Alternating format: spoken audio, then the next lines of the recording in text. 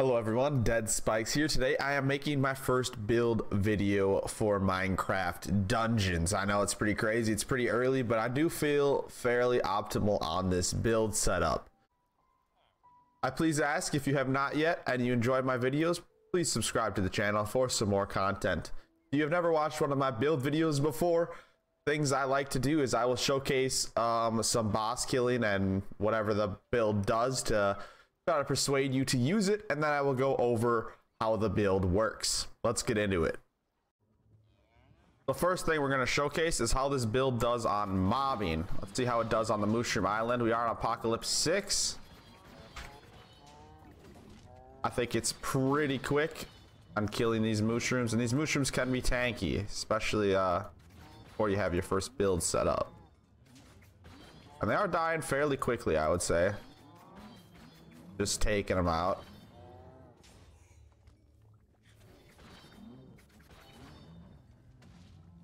Here we go. He got some more up here. Perfect.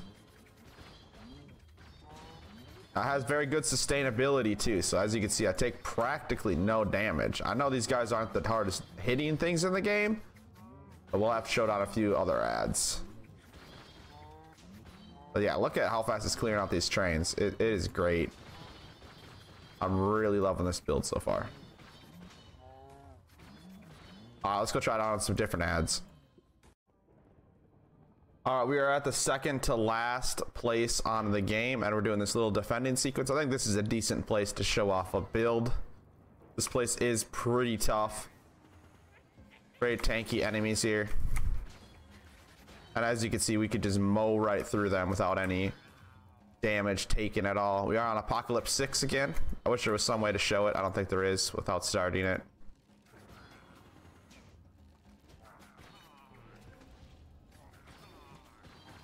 All right. See, we were hurt there a little bit from those archers, but we just healed right up. All right, come on.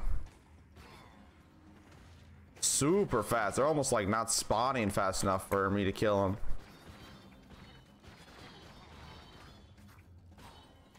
Absolute awesome. Come on.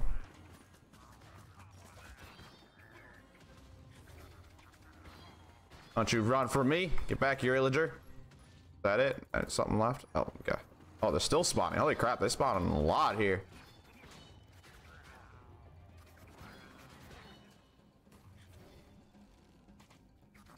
Come on.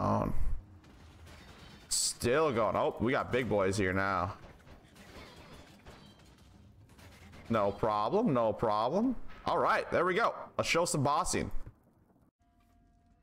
Now, I know this isn't the hardest boss here, but this boss is pretty fun to showcase a build on. I must say myself. I mean, look at this. Look at that. That's Apocalypse 6, man. That's awesome. All right, we are at the Mushroom final boss here. Let's see if this build can do to him.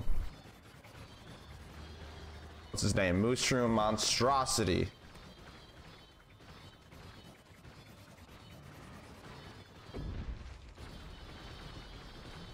Almost got him in one whole burst. That was pretty cool. Dang, that's awesome. That's an Apocalypse 6. All right. Now we are up to the final boss. We'll show stage one and stage two separately.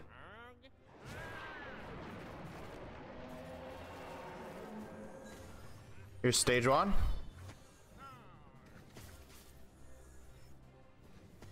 Super annoying stage. Alright. I get him to stand still. This does a lot of damage to him. There he goes. All right, let's showcase stage two now. All right, now we're coming up on stage two of the end boss, Heart of Ender. Yeah, there we go. There we go. That was awesome. That's the very highest difficulty too. Now let's go over the build. All right, so now you saw this baby in action. I showed you some add killing and I showed you a little bit of boss killing. So let's go over what is making this build so strong. All of the footage you saw was on the highest difficulty. I must tell you, um, there's no way to show you, sadly. I wish there was. Maybe there will be someday, but yeah, all right, so let's go over it. So the weapons you're seeing me use here are the moon daggers. The moon daggers are actually extremely easy to farm and they're very, very good if you know how to use them correctly. First off, I'll show you where to farm these things because it's very important. You can get them from the Soggy Cave. Daggers are right there. All right, perfect. So that's where you get the Moon Daggers. Next, we have the Renegade Armor. Now this you can farm from two places. You have the Fiery Forge. It's the Mercenary Armor. And then you also have Cacti Canyon. Cacti Canyon is what I suggest. These two things are what make the build mostly. Everything else you kind of just get the bow is optional. I haven't figured out the best bow to complement this build yet so i'm just using my damaging bow which is my purple storm. Shoots extremely fast and has high power with ricochet and chain reaction which makes it shoot a lot more arrows around. That's not very important. It's the moon dagger and renegade that are very important and your artifacts that you are using. So with the moon dagger this is the one that I'm using, but this is not the best variant you can get. I'm using critical hit radiance exploding. Now, the very best Moon Dagger you could get for this build would be Critical Hit Radiance Swirl. Um, swirl is where every few hits you send out a whirlwind around you that deals damage. That would be the absolute best Moon Dagger you could get. Maybe a 107 crit radiance swirling. You had that, boom, you have the perfect dagger for this build. Now, if you don't have that, um, the third ability, you're just going to have to cope with what you got. I'm using Exploding. Um, Exploding's not terrible. It's actually pretty good but swirling would just be better because it's based off the number of hits and we're getting off a lot of hits. That's why radiance is keeping us alive. If you don't know what radiance does is it gives you a 20% chance to spawn a circular area that heals all allies. So every five hits basically we're healing ourselves and everybody around us on our team. And since these things are hitting so fast that thing is procking so much to make it so we cannot die. And then critical hit on top of it is giving us a 20% chance to crit. So critting does like three times damage i think which is where all this damage is coming from. So we're constantly healing ourselves and constantly critting. Um and we could would constantly be aoeing um if we had swirling but sadly we do not. Exploding we're just when we kill something it'll blow up and damage everything else. Now the reason we chose renegade armor um, is because it has a 25% melee attack speed boost, which will make your radiance go off. It'll make your crits happen more often, and it will also make that swirling go off if you have it. Now, this is a God roll renegade armor, in my opinion. This is exactly what I wanted, and this is what I got. So I got lucky. I got cooldown, which will make it so my artifacts come back 27% faster. That is great. I have protection, so I take 15% more damage reduction on top of the 35%. And then I have gravity pulse, so everything comes closer to me, so I can kill them a lot faster. I suggest these three rolls absolutely. The biggest, most important roll here is cooldown by far. Cooldown is what you absolutely need on the Renegade armor when you're running it. The other two are optional, but this is what I highly suggest right here is this setup. Um, this plus 20% weapon damage boost aura, I did some testing, and this actually only boosts your allies. It doesn't boost you. But if you're running with some friends with Renegade armor, it will boost you. So I highly suggest all four of you to run Renegade armor. That might be how I play this game from now on. Pretty cool. I'm helping my friends farm it right now. And um, basically, if everybody had it, you'd each have a 60% damage boost. That's pretty good. On top of that, attack speed for yourself and damage reduction. All right, so let's go over the artifacts. Um, I switched between like probably six artifacts actually. I switch them quite often. But when I start the arena, um, I look like this. I either look like this or I look like this with my um, artifacts. Now it's strange. I know and probably none of the footage you saw me run Soul Healer. That's because I don't actually use it. I put it on specifically for the Soul Gathering. Now you could put any artifact on that has Soul Gathering, just do not use it. Now what is the reason behind this? Well, the Moon Daggers have a, um, a special ability right here called Soul's Crit Boost. Now, you might not know what that is because you can't click on it and read it. But basically what this does is it gives you a chance to crit um, if you have like basically max souls. If you have max souls, you have a chance to deal three times more damage. Um, but you actually can't earn souls unless you have something that has this ability plus one soul gathering.